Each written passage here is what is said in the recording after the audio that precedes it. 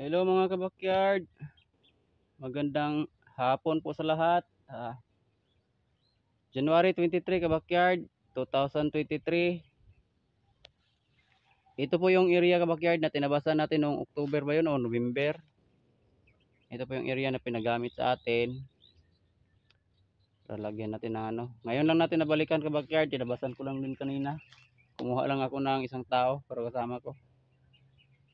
Maliit lang po yan kabakyard, mga 150 square meter lang siguro yan.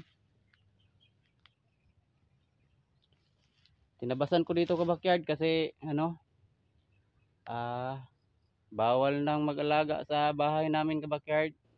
Pinagbawal ng zone. Kaya mayroong asosasyon dito sa ano namin. Since na dito tayo nakatira, sumunod tayo kabakyard. Nagbawal na nila yung mag-alaga ng baboy kahit ma mayroon pang septic tank ka backyard wala tayong choice. Dito na tayo ka backyard. Bali hindi ko na gawa ng ano ka backyard. Crossbreed yung gawin ko ditong inahin ka backyard. Hindi ko nagawa ng tangkal ka backyard. Ta nakatali lang yan sila sa gitna dyan. Gawa lang ko ng kunting kubo din dito. Ah dito ka bakit pwede tayo magka, magparami ng ano ng kambing. Dito ko parte ilagay yung kambing sa backyard yan. Pupunta doon sa may kahoy. Tapos dito sa gitna ah, ano yung inahin natin.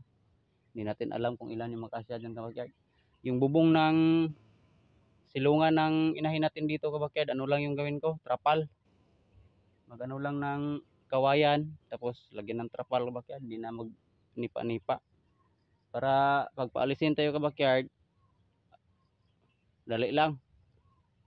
Wala kasing ano ka backyard mahirap mag simento tayo dito hindi pwede kasi hindi man to sa atin. Pinagamit lang to sa atin ka backyard.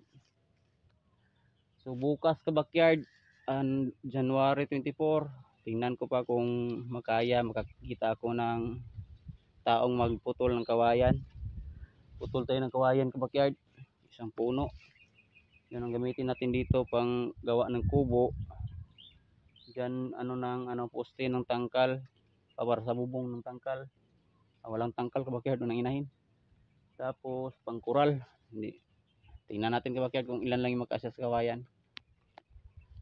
So yun lang ka backyard good luck po sa akin dito ngayong taon paglipat natin dito ka backyard may ano na tayo may kabady na na extra challenge tong pag-alaga natin dito ka backyard kasi medyo distansya sa bahay natin. At saka mga anak din yung misis ko ka backyard ngayong March or April katapusan ka backyard kaya ako lang din yung magbantay doon. Siguro ka backyard mga 3 months or 4 months dala-dala ko na siya dito. Bisita magpakain. So yun lang kabakyard. Maraming salamat. Ah i-update ko lang kayo kung mayroon na tayo dito. Happy farming pa rin.